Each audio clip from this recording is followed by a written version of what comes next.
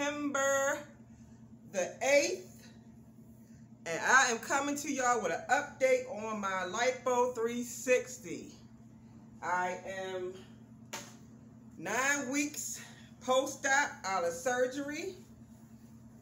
And I'm still going through the itching, but not as much. Um, I'm noticing um, the, uh, the, the bottom of my stomach is hard. It's like a hard, um, it's hard to the touch. Like a hard exterior. I thought maybe it's like came from fluid, which it it did. It came from me retaining a lot of fluid and not doing a proper massages on time like I should have when I was retaining a lot of fluid. I should have attacked the fluid right away with my the hand massages or the rollers, the roller massages. Which again, if y'all seen um, my videos, this is the proper massage tool. It's called a lymphatic massage tool that you can get off of Amazon for um, like $20. But um, the bottom of my my tummy is is hard the exterior of it is is hard, and it's um, it's been like that um, like since like two weeks out of surgery, and I don't know if it's it's from scarring tissue. I think it's, I think it's the scarring tissue from the surgery because it's hard to the touch. I'm not in any pain. I wouldn't say that I'm in any pain, but it's not like a soft layer of skin. is hard, like right down in this area where my tummy is. It's hard. But um, I'm not going through as much itching as I was the past couple of weeks. That died down a lot. I'm still 15 pounds lighter than what I was from from the surgery. I'm 15 pounds lighter from the surgery. Um, I'm actually feeling very good. At 15 pounds, I didn't realize that 15 pounds being 15 pounds lighter, I can like maneuver so much easier than I did when I was, before I went into surgery, I was 210 pounds. And now I'm actually um, at 100, actually, oh, wow. I lost 20 pounds, wow. I'm at 190 right now, 190 pounds.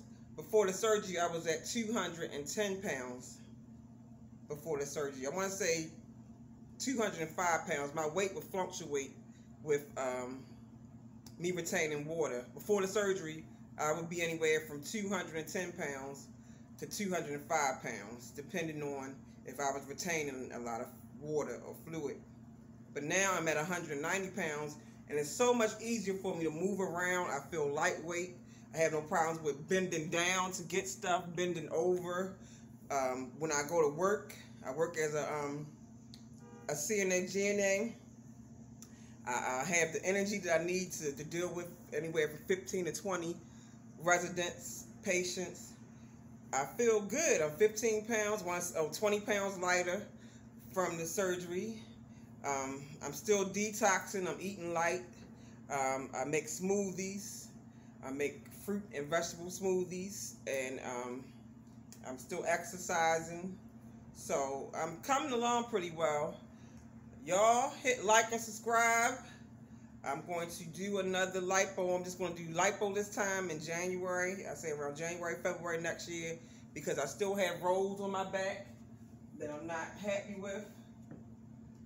And I'm going to tell them when I go for this surgery for the lipo to just focus on my back area, the fat on my upper back, and the rolls on my mid back.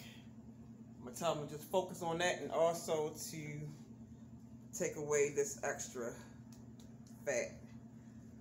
I can go to the gym and work on these areas, but it will take a little bit longer than what it would if I was to go into surgery to do the lipo and get rid of them.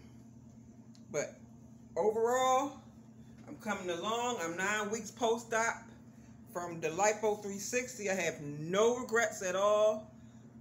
Um, like I said, I'm gonna go back, hit like and subscribe so y'all can follow me. I'm gonna go back in probably February of next year and do another round of lipo. It's not gonna be the lipo 360. It's just gonna be lipo on my back area and my arms. So y'all can follow me and see how my body transforms. Um, I have to really admit this lipo has been life changing for me. Before the surgery, I was like really sloppy, really sloppy. My my stomach would hang over my crotch area. My stomach was hanging on my crotch area. I was my waist was like big. Uh, uh, like I said, I was 20 pounds heavier before the light lipo, and I, my my shape was very sloppy. I always had a nice derriere, but my midsection I was I was like sloppy. Now when I look in the mirror, I have like confidence. I love what I see when I look in the mirror, and I'm still working on myself. I want I'm one hundred. I'm um I'm five five. My height is five five. My weight right now is 190 pounds. I want to get to at least 180 pounds, and like tone up, tone up my body parts and I'll be satisfied and I'll be happy. I want to stick with my dieting, eating clean, detoxing.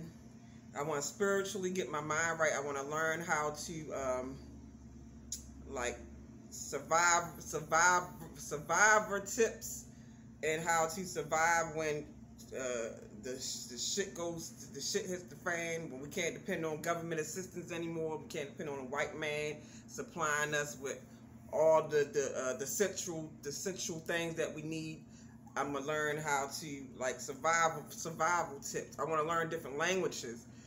Like I'm trying to like mentally, physically, and spiritually get my mind right because like right now it's 2021. It's like a lot of stuff going on. We need to be prepared for, like really prepared for spiritually, mentally, and physically. So I'm like I'm trying to get myself together, and I want to actually influence other people to be the the the best person that they can be, individual that they can be, so we can be able to survive all this nonsense that's going on in the world. Because it's, it's, it's, a crazy world, and it's, it's a selfish world. It's, it's selfish. It's, the, it's the, the nature, the nature of the beast. So you have to be be the best individual, the better part individual of yourself that you can be in order to survive in this selfish world. But anyway, outstanding. It makes me want to shout.